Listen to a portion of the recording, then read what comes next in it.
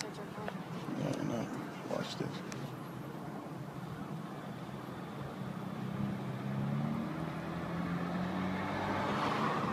Where are you guys going from here? Um, what, what, what was the pro? Why did you pull me over?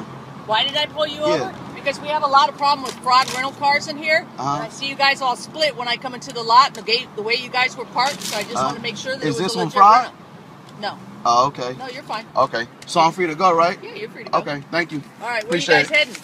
Um, I'm being detained, or I'm free to go. No, I'm asking you a question, but you can be pulled out of the car and I can search it if you really want. Um, how is that? Yeah, Any way I want. Doesn't mean I can use what I find, but I can do it. So you want to do that? You want to play that game, a little hard ass, or you want to go No, back to Rick no, and no, I, Pete? I, no. All I'm saying is, Don't, don't talk shit. I'm not- all right? I'm not talking shit. You guys shit. are all over there, a bunch of tatted up gangsters and everything, hanging out. in I'm not a motels. gangster. Yeah, but you're all tatted up. You're sitting there. My son's park- name? My You know son's what? name? You can't even park the damn car right. You're over there. She's all tatted and everything else. You're not even from around here. All right. I was so taking, don't a, come here and talk I was taking shit. a picture. How am I talking shit to you, officer? You're talking shit. Am I Come on, being detained or what? I told you you could go, right? So go.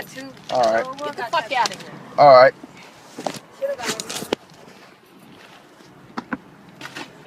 Look at this.